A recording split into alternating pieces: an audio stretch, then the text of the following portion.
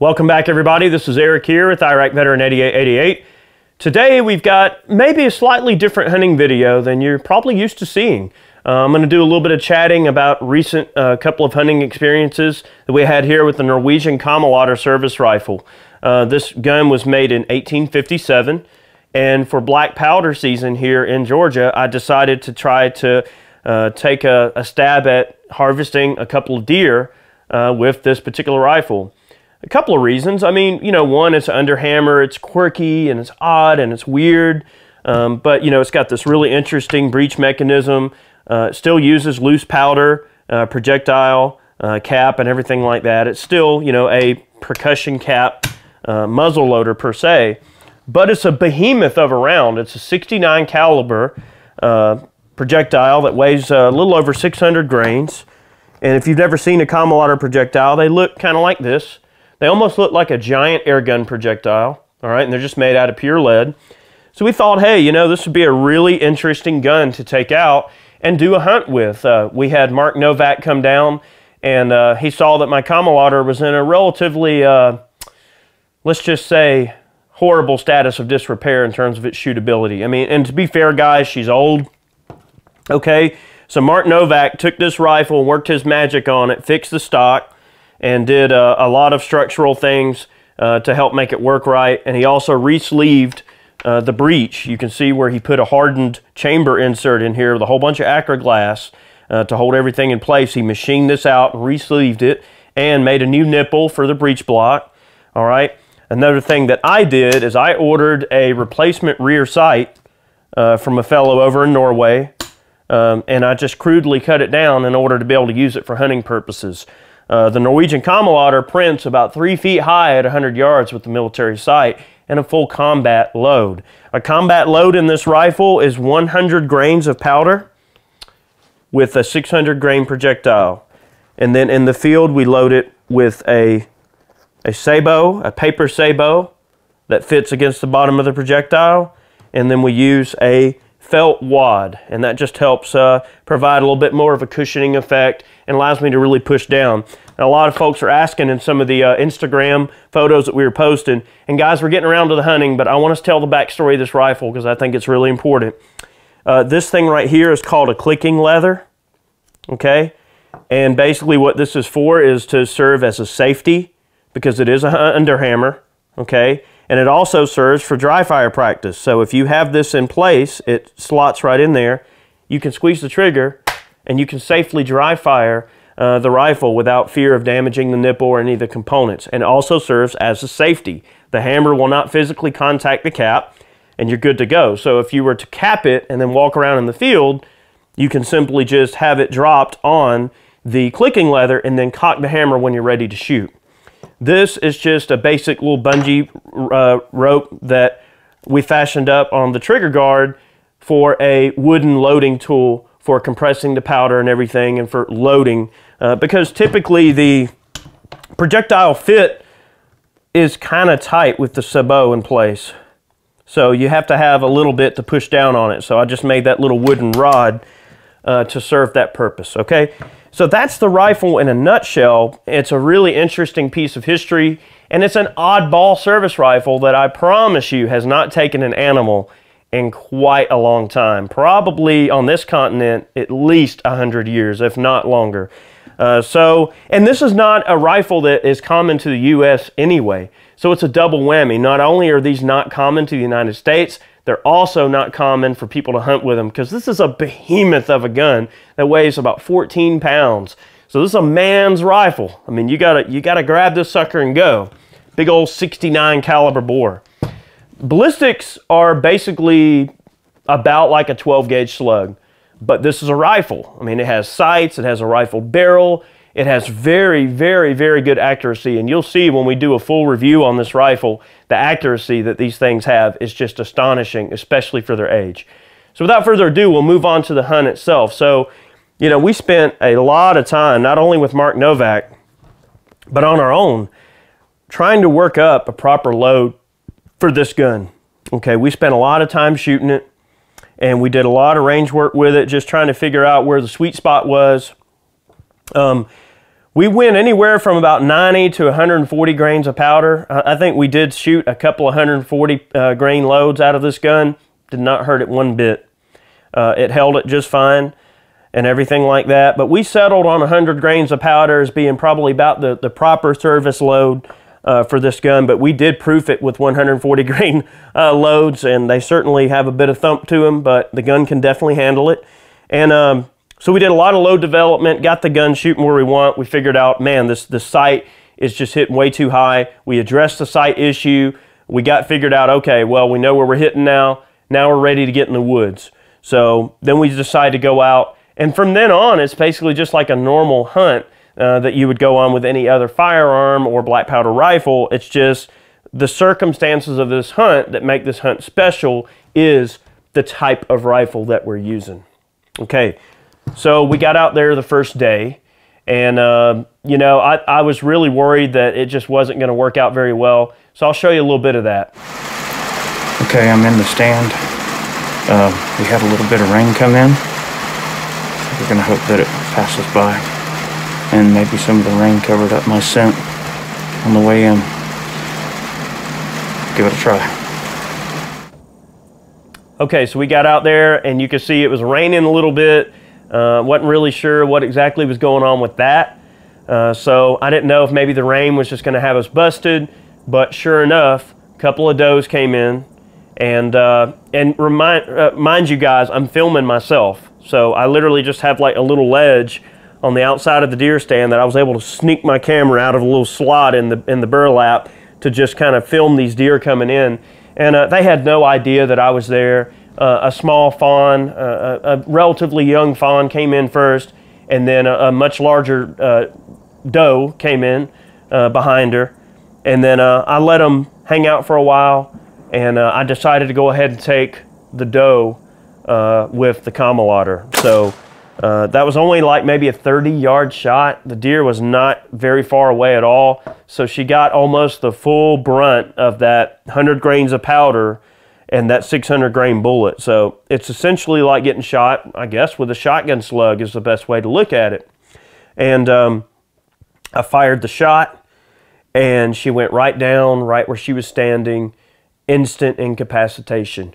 Uh, I'm not going to show you any photos of the aftermath, but when we went down to the processor, uh, we, we you know, got her all dressed out and everything, and we looked at where the projectile went into her body, and the projectile clipped the top of the left lung, the top of the heart, because I'm kind of shooting at a downward angle, and then it went right through her right lung, right in the middle, it was kind of a downward angle, but it went through the heart and lungs all in one go. It was a perfect shot. You could not ask for a better shot on that deer. And there was no suffering. It was instant incapacitation. And we got the, the freezer full of meat. Uh, so we're good to go. We got plenty of meat uh, there from that, uh, from that doe. And that was a, a successful hunt. And I just don't know how that could really get any better uh, in terms of, you know, I wanted to really take a buck with this rifle. And you know the bucks have been a little little weird lately. And you know I, the property i hunt on is a little bit highly pressured because uh, the amount of people on it. And that's fine. I'm not saying anything against the people that hunt there but it is a relatively big piece of property that has a lot of people that hunt on it so the bucks have been a little spooky and weird and they've, they've gone relatively nocturnal. At this point really the only way to get a buck to come in is going to be to rattle them in or to maybe you know take some cotton balls with some doe and heat estrus maybe try to you know get some scent to bring him in in conjunction with maybe a little bit of rattling or something and some some bleeding. Something like that would probably be um, the right choice. But we decided to take the Kammerlader out for another day. And I had Cameron with me uh, with Air Force air guns he was down hanging out with us so we decided to go out together and just see uh, what the heck uh, might happen. So we got in the stand, everything's relatively normal, and we had this deer pass by and then loop around us, obviously probably trying to wind us because we had the way we had the wind going. A lot of times a deer, you know, especially if they're coming into a food plot, they'll try to kind of cross around the outskirts of the food plot before they come in.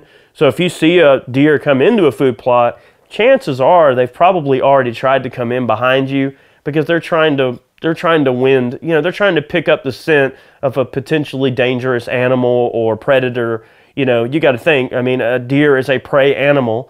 Uh, they're not exactly super high on the food chain compared to some animals. So deer understand that they're vulnerable to certain predators. And, you know, we do have some bears this far south, but we, you know, we have some really nasty coyotes and uh, you know they really will, and they and they get rather large, right? So you know they're worried about predators. So, okay, and and honestly too, if they caught wind of a human anywhere on the property, they hate the smell of humans. So maybe they're you know a little bit on on alert because maybe we made a weird sound coming in or whatever. But anyway, this deer crossed on back through, and we thought, oh well, he just passed through. Maybe we won't see him. Well, he showed back up. He came in behind us and came in towards the feeder and towards the, the food plot. That entire area there is like an acre of uh, winter peas and oats and all kind of stuff we planted there for the deer. He came in, and I got a little bit excited. You know, I was thinking, all right, what, what's going on here? Well, um, he looked a little bigger than uh, to me when I was in the stand. He just looked like a bigger deer than I thought he was. It wound up being a relatively small button buck. Um, in retrospect, probably shouldn't have shot that particular buck, but the proof is in the footage. So what did we do? We decided to go ahead and take a shot at him. All right, so I fired the shot and he runs away. And I'm thinking like, man, there's no way I missed that buck. At the time, I didn't know it was a buck. I didn't see the buttons. I thought that he was just a tiny doe or a doe. I didn't really picture like a small deer. But in my mind, okay, I shot a doe and it ran away. And I'm thinking, man, there's no way I shot high because a few days prior, I took a shot at a deer and the round went right over her back. So for the week with black powder hunting, I missed one doe, but we got two in the freezer. So I shot this, what I thought was a doe, and he ran off. She ran off. You know what I mean? And I'm thinking, man, there's no way I missed this deer, right? You know, I, I just knew I hit this deer. And we got to, you know, we, we waited. You know, anytime a deer runs off, I always wait at least 20, 30 minutes. So we waited a while, we waited, we waited. We're like, okay, you know, if this deer is hit, it's obviously it's it's it's done laid down somewhere. And because of the direction that I saw the deer run in after we fired the shot, I knew because of the direction he went in that he was going towards water. Usually, a wounded deer will always head towards uh, a water source. So, anyway, we got out of the stand, we recovered the deer. Uh, the deer got shot through both lungs, so the shot placement was absolutely perfect. The projectile missed the heart by about two inches. It was just a little bit high. I did shoot high again because the, that is the one downside on these guns is that they, they shoot notoriously high, so you have to be exactly precise of your sight picture to get the proper shot. The round did hit a little bit high, but it went through both lungs. We went out there and we found some frothy pink blood, which told us absolutely that we've got a lung shot on our hands. Uh, and then we followed the blood trail. Sure enough, lots of uh, bleed, a good bit of bleeding, and we recovered our button buck.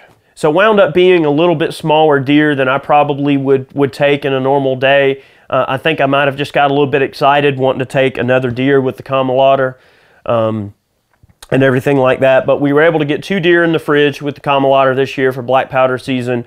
And I hunted with the Kammerlader exclusively all, all during black powder season. And uh, I'll probably make this my go-to rifle for black powder uh, for primitive weapon season black powder season, primitive weapon season. Different states call it different things.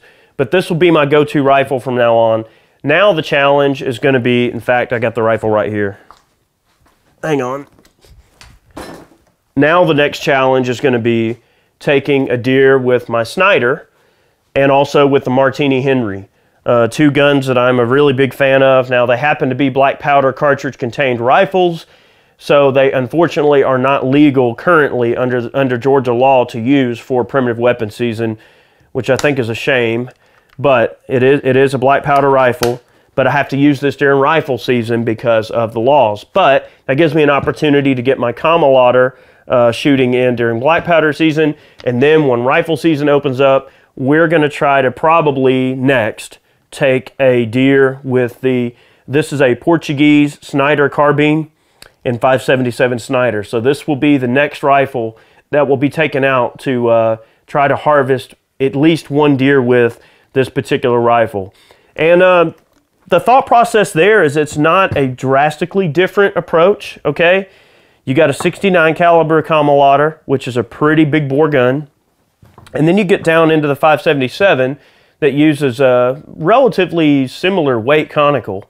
I want to say that those uh, maxi balls that I had made are 600 grain bullets. So it's going to be really interesting to see the difference between, okay, you got like maybe 70 grains of powder with a similar weight bullet that's a little bit smaller in diameter versus 100 grains of powder with this ballistic marshmallow going down range. It's basically a lead marshmallow flying out of the end of it. So, uh, guys, we hope you enjoyed today's video. A lot of folks really wanted us to get into doing a little bit more hunting stuff. And we try to do it in a documentary sense. We really, because it's about the journey. It's about what you go through to put the hunt together more. It's not about the kill. It's not about firing the shot. Sure, the shot is the culmination, uh, of all of those things, okay? Ultimately, when you make the shot, that, that's where the rubber meets the road, right, when it comes to hunting. But I find that a lot of fun is also in the preparation, the stories, and, uh, and the things you witness and, and I don't know, the people you're with, you always remember all of that and it becomes just kind of ingrained in you. And I think that's one of the most important things about hunting is the memories that it creates. And, uh, and it also, you know, there's a sense of being rewarded for your persistence. Uh, you know, people say, oh, you can't hunt with that old gun. Okay, right. I'll show you that I can. And it's also, I think, uh, you know, to harvesting a deer with iron sights uh, especially using black powder, especially using a really old rifle of questionable, you know, shape and things like that. When you get into all these variables, if you can take deer with this rifle, then you know you can get behind a modern inline muzzleloader and do the job. But sometimes that's not the point. Uh, I think that using the older technology is the full embracing concept of hunting primitive weapons, black powder season, is using old school guns. Because otherwise, what lesson are you teaching youngsters um, about knowing where we came from, knowing our heritage? Remember that Black Powder Season is about is about honoring our heritage as riflemen, our heritage as hunters and gatherers, and you know having the ability to take some of the oldest firearms that were used in our country and go out and harvest deer. That is the spirit of primitive weapons season is using old, the oldest technology, in my mind, the oldest technology available. Now, granted, there's been workarounds with inline muzzle loaders, and I'm not saying that's not a bad thing. I've shot deer with inline muzzle loader. I certainly don't have a problem with it. But if you can go out and you can take a deer with iron sights with one of these old guns, then you know that come rifle season, when that giant Boone and Crockett buck shows up, that hopefully you're going to have an opportunity to shoot, that you know when you're looking through that nice modern Leupold optic that gathers all the light it can, even right at last light of the day, you're thinking, there's no way I'm going to see this deer. And you look through your Leupold and there he is, pretty as you please, and you squeeze the trigger on your nice tuned Remington 700 or, or M77 action bolt gun. And man, and just that modern propellant and you know, it helps you appreciate the modern technologies that we have available to us these guns paved the way for what we have today. And we always like to honor the classics. So we thought that, you know, we haven't done a hunting video in a while, that would be a lot of fun to do a video where we go as far back in time just about as we can when it comes to percussion. So one of the next black powder videos that we're going to make for next year is we'll probably either be using a Whitworth uh, rifle and trying to take maybe some longer shots or we'll look at possibly getting into a flintlock of some sort, maybe even a matchlock. So stay tuned for that. Guys, thank you very much for watching today's video. We appreciate it. We hope you enjoyed it. I want to give a special thanks to all of our Patreon supporters who support us monthly. Patreon is a system by where you can donate a few bucks to your favorite content creators.